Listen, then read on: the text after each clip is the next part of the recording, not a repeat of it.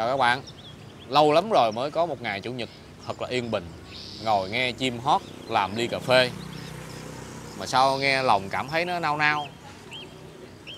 Nhớ lại coi, Không biết mình có nợ nần ai gì không? Chắc là nợ nhiều. À mình nhớ rồi. Nợ nhiều nhất là nợ mấy, trả lời mấy comment ở trên kênh Thôi quay cái clip để à, trả lời comment trên kênh cho các bạn.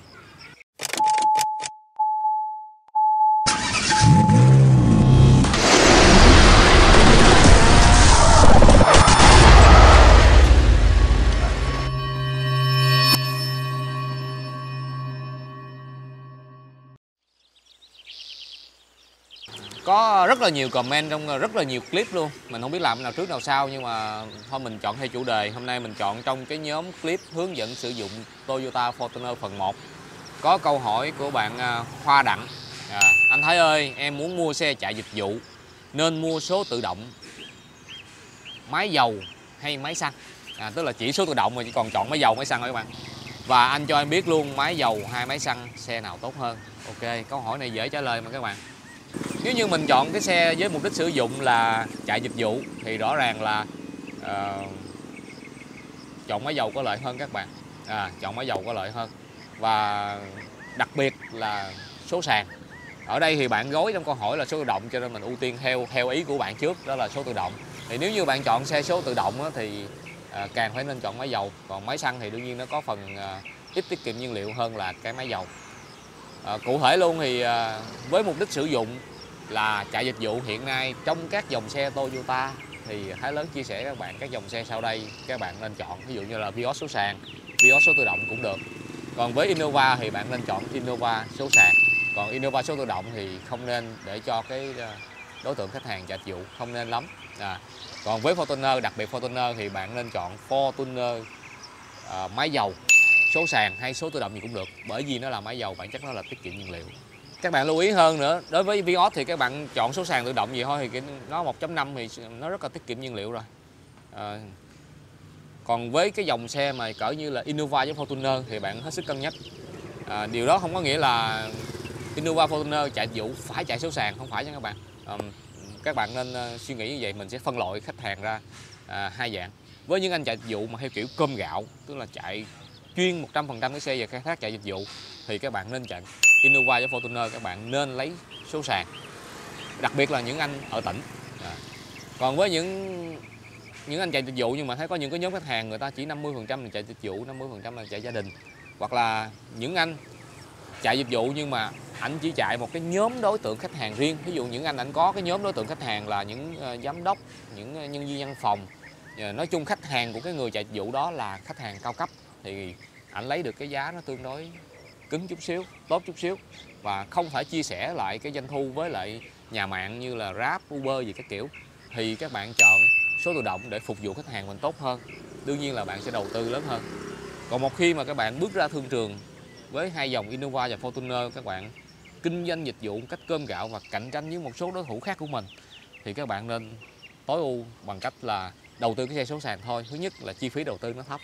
À, thứ hai nữa là chi phí nhiên liệu trong suốt một thời gian dài một cái ý hay nữa là anh bạn này họ anh ờ, khoa đặng này hỏi là máy dầu hay máy xăng máy nào tốt hơn? À, câu hỏi này thì ờ, không hẳn là máy dầu thì tốt máy xăng hay máy xăng tốt máy dầu bạn mà cái chuyện mà độ bền độ tin cậy tốt hơn à, hay không á nó phụ thuộc vào uh, cái thương hiệu. Cái mà hai lớn muốn nói là cái thương hiệu. Ví dụ như các bạn đã chơi dòng xe Toyota Toyota thì lịch sử của nó đầu tiên là nó ra máy xăng à, sau đó thì nó mới ra máy dầu áp dụng cho xe du lịch.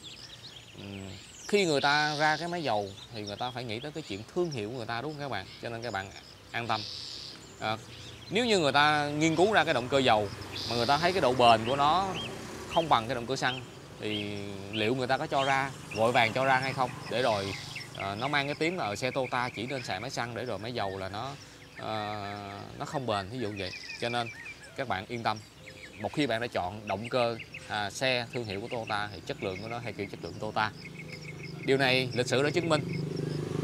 Xe Toyota Fortuner máy dầu hay là Toyota cá mập máy dầu đã có tại thị trường Việt Nam từ những năm 2009 và trong suốt thời gian chạy hôm bữa Thái Lớn có gặp một khách hàng chạy vụ đi chiếc Fortuner máy dầu 209 chạy khoảng hơn 300 ngàn cây nhưng mà chưa đại tu máy. Đó, điều này cũng chứng tỏ và cũng chạy tốt cũng tiết kiệm nhiên liệu ờ, cũng chạy dịch vụ tốt. Điều này chứng tỏ là động cơ dầu của Toyota nó cũng bền. Các bạn đừng quá lo lắng hy vọng là cái giải đáp của Thái làm cho bạn khoa đặng hình dung được là cái cách chọn xe để chạy dịch vụ hay là những khách hàng hàng khác đang có nhu cầu mua xe hình dung được à, nên chọn máy dầu hay máy xăng số sàn hay số tự động. À mà nhớ nữa trong tháng 11 tháng 12 đang có khuyến mãi ngon lắm các bạn. À, các dòng xe mà Thái lớn Newton nãy giờ và các dòng xe khác nữa. Chi tiết các bạn xem clip đi. Mấy bạn nhân viên Thái lớn nói cho bạn nghe nè để mua trực tiếp nhóm Thái lớn, anh chị vui lòng gọi số 0919 010 211 hoặc là 093 12345 45 hoặc đến showroom các bạn nhớ yêu cầu cho tôi gặp nhóm anh Thái lớn. Đội nhóm Thái lớn xin cam kết trước khi mua xe sẽ tư vấn nhiệt tình vui vẻ, thủ tục nhanh gọn lẹ và sau khi mua xe vẫn tiếp tục chăm sóc tận tình chu đáo. Nhóm Thái lớn xin cảm ơn Câu hỏi kế tiếp là anh Long Hoàng Tôi muốn mua xe nhưng làm việc trong ngành giao thông Không công bố được Không công bố lương được à, Được hay không? À, à, Đây là một cái lo lắng mà Hải Lớn cũng gặp phải. Đối với một số anh em công nhân viên chức à, Đi làm nhà nước thì à, có hai vấn đề. Một là cái thu nhập à, à, của họ tương đối thấp lương nhà nước mà. Cái thứ hai nữa là nhà nước thì cũng hơi nhạy cảm hay là cơ quan nhiều khi người ta có cái cá nhân riêng người ta không muốn công ty ờ, ha cơ quan biết và các anh thường lo lắng là cứ làm hồ sơ mua xe là chắc chắn cơ quan mình sẽ biết. Điều này không phải. Rồi trong trường hợp này mình giả sử anh ờ, Long Hoàng này đang là công nhân viên chức của ngành giao thông ờ, mình giả sử là vợ anh cũng là công nhân viên chức của nhà nước trong một cái đơn vị nào khác ví dụ như quỹ ban quyện hay là uh, trường học gì đó đi đại khái vậy và không muốn cơ quan của hai chồng biết là trong quá trình mình mua xe. Ok hoàn toàn có thể làm được các bạn yên tâm. Đây thấy lớn uh, giải thích cho, cho anh Long Hoàng nhé. Mình nghĩ là chắc là anh chưa hình dung được cái cách thu thập hồ sơ cho nên anh hơi lo lắng. À. khi anh làm cho trong nhà nước thì anh có quyết định bổ nhiệm đúng không ạ? Quyết định bổ nhiệm thì đương nhiên là anh làm cho cơ quan thì cơ quan giữ một bản và anh giữ một bản cái này trong tay anh có. Cơ quan nhà nước thì chắc chắn là chuyển lương ờ, qua tài khoản rồi. Thì để chứng minh cái thu nhập này hay là để sao kê cái này thì mình đi ra ngoài ngân hàng mình in sao kê. Rõ ràng mình cầm chứng minh ra ngân hàng sao kê làm sao cái ông ở trong cơ quan mình không biết được, đúng không ạ? Rồi, hoàn toàn. Rồi à, bên cạnh đó thì những hồ sơ pháp lý khác như là chứng minh nhân dân nè hộ khẩu nè, kết hôn của hai vợ chồng. Đấy, tất cả những cái giấy tờ mà thái vừa chia sẻ là gần như đủ để làm hồ sơ vay trả góp với khách hàng là công nhân viên chức rồi. Hồi nãy giờ thái nói, anh long hoàng hay là các bạn có thấy có cái bước nào mà phải liên quan tới sếp trong cơ quan mình hay không? Hay là đồng nghiệp trong cơ quan mình hay không? Hoàn toàn không. Hay đúng không ạ? Rồi. Cái thứ hai nữa là chắc chắn là như anh chị làm nhà nước thì lương thấp. In sao kê cả hai vợ chồng như trường hợp nêu trên ra thì chắc chắn là nó thấp. Không sao. Tuy rằng thấp nhưng mình có một điểm mạnh các bạn. Đó là vợ chồng của anh này đi làm lương thấp nhưng mà rõ ràng là, là làm việc ổn định. Đúng không?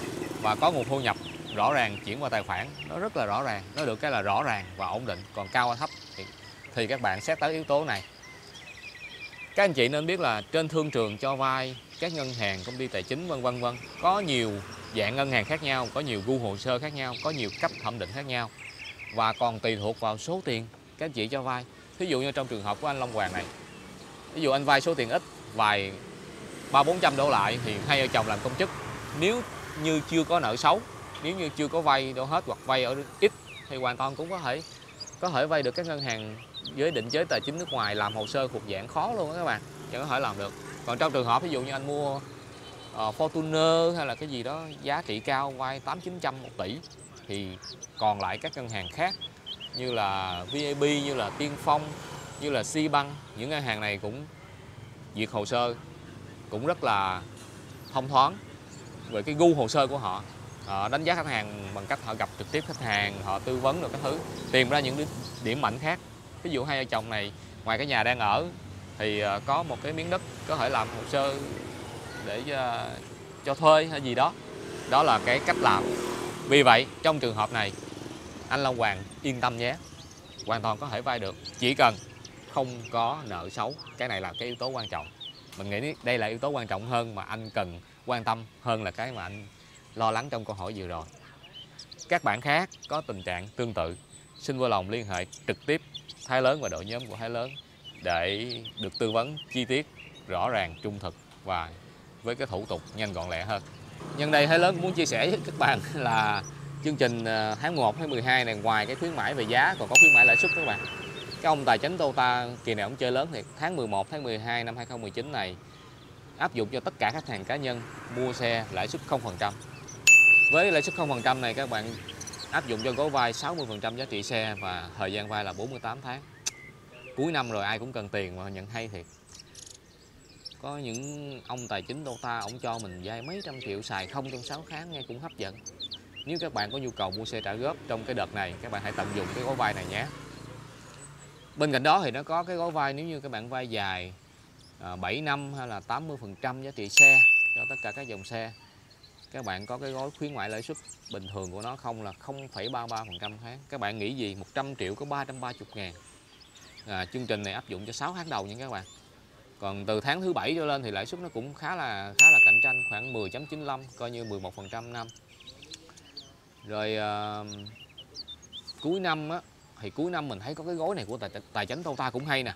Gói này cuối năm bởi vì cuối năm thì nhu cầu xe có mà nhu cầu tiền thì cũng cao. Dân làm ăn kinh doanh thì mình thấy cái hay áp dụng cái gói vay 50 50 á, tức là giải quyết cái xe cho gia đình đi vào dịp cuối năm để giải quyết công việc và Tết nhất các kiểu. Tiền thì để vẫn cứ để lại mà bạn được mà họ chỉ vay 300 500, nói chung là dưới 50%, 50% giá trị xe và một năm sau quay lại trả với cái lãi suất cố định. À, gói 50 50 này mình nói rất nhiều rồi. Ưu điểm của nó là lãi suất của nó cố định khoảng 9% một năm nha.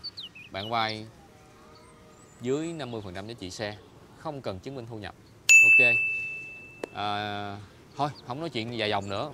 Lãi suất à, khuyến mãi là vậy. Còn hồ sơ ngân hàng thì nó cũng đa dạng mỗi người mỗi hoàn cảnh.